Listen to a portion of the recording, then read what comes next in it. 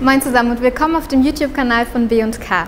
Ich bin Sina und hier neben mir steht der Mini Dreitürer. Wahrscheinlich fällt euch auf, dass er nicht so aussieht wie die anderen Dreitürer, die ihr von der Straße kennt. Das liegt daran, dass er im Frühjahr 2021 ein Facelift erhalten hat. Aber nicht nur der Mini Dreitürer hat das Facelift erhalten, sondern auch die Schwestermodelle, die auf der gleichen Basis gebaut wurden. Diese Basis wird von BMW UKL 1 Plattform genannt. Das sind der Mini Fünftürer und auch das Cabrio. Wir schauen uns das Facelift jetzt mal anhand des Cooper S3-Türers an und zwar hier mit John Cooper Works Paket. Wir starten an der Front. Der hexagonal geformte Rahmen, den wir auch schon vom Vor-Facelift kennen, geht hier tiefer. Der wird von Mini Single Framed Grill genannt. Außerdem sehen wir, die Umrandung ist hier in schwarz gehalten und nicht mehr in Chrom. Mini möchte nämlich in Zukunft komplett auf Chrom verzichten. Bei der neuen Generation Mini, die ab 2023 rauskommt, soll sogar gar kein Chrom und auch gar kein Leder mehr verbaut sein. Mini möchte so nachhaltiger werden und hier beim Cooper S haben wir darauf schon mal einen guten Ausblick. Die Nebelscheinwerfer fallen bei den Facelift-Modellen weg. An ihrer Stelle sind jetzt Lufteinlässe. Das macht aber nichts. Das Facelift kommt nämlich serienmäßig mit LED-Scheinwerfern, die die Funktion der Nebelscheinwerfer übernehmen. Das Innenleben der Scheinwerfer ist in schwarz gehalten, wodurch das Tagfahrlicht noch besser zur Geltung kommt. Optional gibt es auch noch adaptive LED-Scheinwerfer mit Matrix-Technologie. Beim One und beim Cooper ist tatsächlich noch ein zweiter hexagonaler Rahmen verbaut, dieses Mal aus Chrom.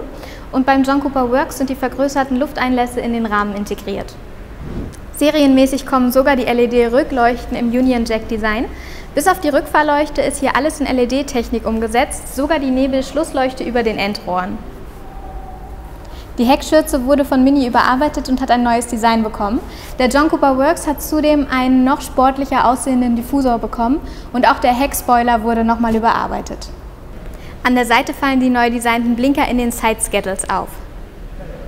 Mit dem Facelift kommen drei neue Lackfarben dazu. Das sind einmal Island Blue Metallic, dann Rooftop Grey Metallic und zunächst nur fürs Cabrio Zesty Yellow.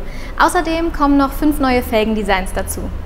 Optional gibt es das sogenannte Multitone Roof. Dabei wird das Dach in Handarbeit nass in nass in einem Farbverlauf lackiert. Da es eben in Handarbeit gemacht wird, ist jedes Dach ein Einzelstück. Passend zu Island Blue Metallic verläuft der Farbverlauf in dunkelblau von der Frontscheibe über hellblau bis hin zu schwarz am Heck. Sowas habe ich bei einem Serienfahrzeug wirklich noch nie gesehen und finde das ziemlich cool. Und Mini arbeitet noch an weiteren Farbverläufen, da können wir also gespannt sein. Auch hier im Innenraum sehen wir, es wird an Chrom gespart. Bei den Lüftungsdüsen ist zum Beispiel gar kein Chrom mehr verbaut. Und bei den inneren Lüftungsdüsen sehen wir, die stehen jetzt nicht mehr so hervor, sondern sind komplett ins Armaturenbrett integriert. Hier haben wir jetzt das John Cooper Works Ledersportlenkrad. Mit dem Facelift ist aber auch das normale Ledersportlenkrad Serienausstattung. Und optional haben wir erstmals auch die Lenkradheizung, die wir dazu konfigurieren können.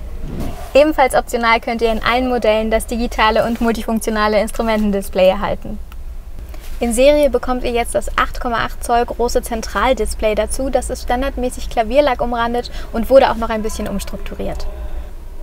Neben der Bedienung mit dem iDrive Controller hat das Display auch eine Touch-Funktion. Ihr könnt also alles hin und her wischen oder auch in die Navigation rein und raus zoomen. Und auch der Lichtring wurde überarbeitet und sieht jetzt noch futuristischer aus.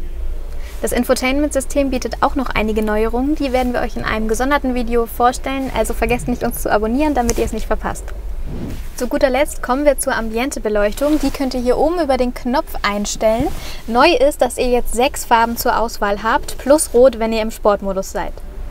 Bei den Motoren hat sich nicht viel geändert. Der One First hat weiterhin 75 PS, der One 102 PS und der Cooper 136 PS. Die drei Motoren holen ihre Leistung weiterhin aus einem 1,5 Liter Dreizylinder. Ein Zylinder mehr und 2 Liter Hubraum gibt es beim Cooper S, der nun nicht mehr 192, sondern 178 PS leistet. Am Fahr- und Beschleunigungsverhalten ändert sich aber nichts. Beim John Cooper Works bleibt es gleich mit 231 PS. Alle Motoren erfüllen nun auch die aktuelle Umweltnorm Euro 6D. Vorher war es Euro 6D Temp, daher auch die Reduzierung der Pferdestärken beim Cooper S.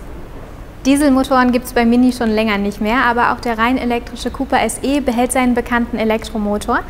Und mit den neu entwickelten Modellen sollen 2023 ein Mini-Dreitürer und ein fünftüriger SUV dazukommen, beide rein elektrisch.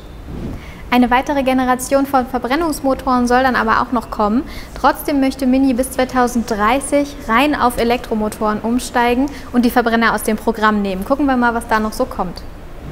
Das war das Video zum Mini Facelift. Auf den ersten Blick bleibt es ein klassischer Mini. Auf den zweiten sieht man aber die kleinen Veränderungen und Upgrades, die Mini dem Mini Dreitürer, Fünftürer und dem Cabrio verpasst hat.